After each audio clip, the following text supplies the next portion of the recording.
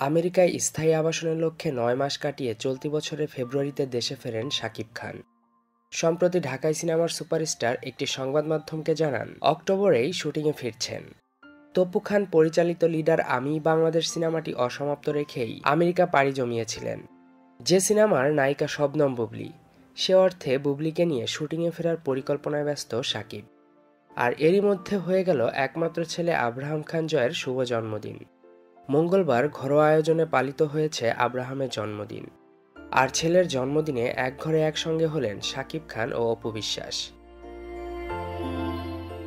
এদিন রাত বারোটার দিকে অপু বিশ্বাস তার ফেসবুক পেজে আব্রাহাম জয়ের জন্মদিন উদযাপনের কিছু ছবি দেন, যেখানে দেখা যাচ্ছে ছেলেকে জন্মদিনের কেক খাইয়ে দিচ্ছেন সাকিব খান।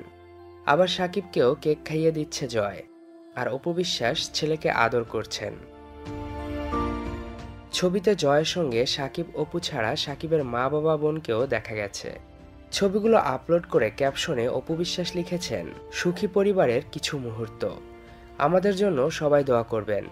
মঙ্গলবার সাত বছরে পা রাখল জয়। দু হাজার ষোলো সালের আজকের দিনে কলকাতার একটি হাসপাতালে জন্মগ্রহণ করে জয়।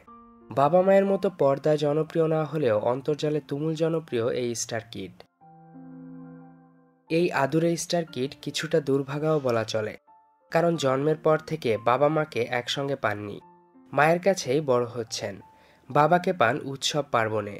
তখন মা থাকেন না, কারণ সাকিব অপুর ছাড়াছাড়ি হয়ে গেছে। কিন্তু এবারের জন্মদিনটা অনন্য জয়ের কাছে, কারণ একই ছাদের তলায় একই অনুষ্ঠানে বাবা মায়ের আদর পেয়েছে জয়।